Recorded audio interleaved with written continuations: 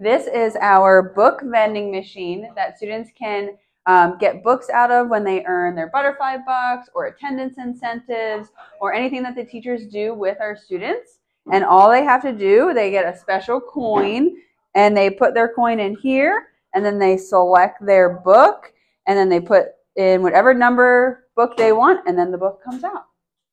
Um, this is really popular. Everyone, when they come in throughout the day, they always ask about it and they always wonder what can they do to earn a book.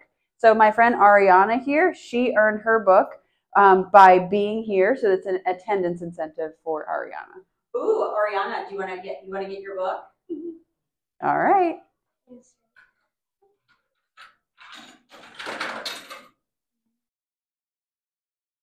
Enter.